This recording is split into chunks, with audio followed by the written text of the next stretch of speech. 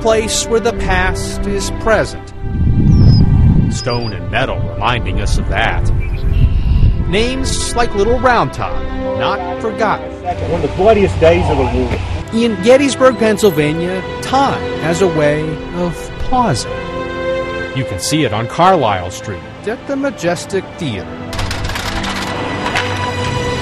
Yes, if these walls could talk to The small theaters were the social life of the community.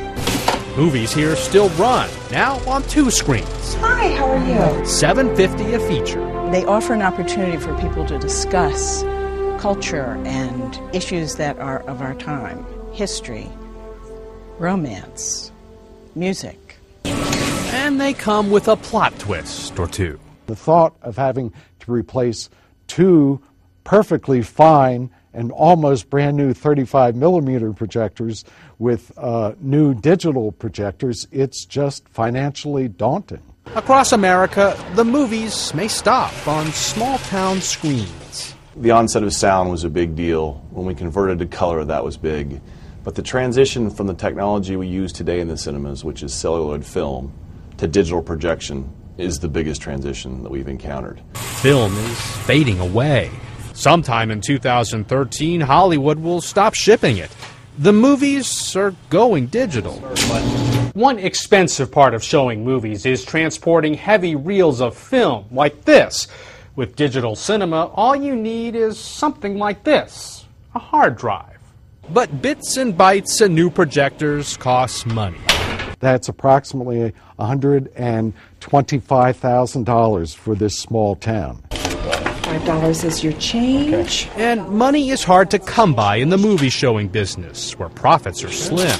My gross for film for an entire year is just around $100,000.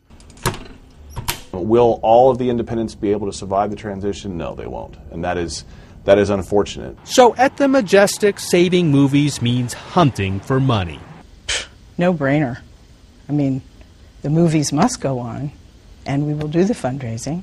Hello, Mayor Troxell. Thank you for coming out. Memories, perhaps the best pitch of all. I used to carry a flashlight every time I come down this aisle. 85 year old William Troxell is mayor of Gettysburg. He walked the rows of the Majestic in high school as an usher. As I recall, they had three movies a week. This is before movies on Sunday.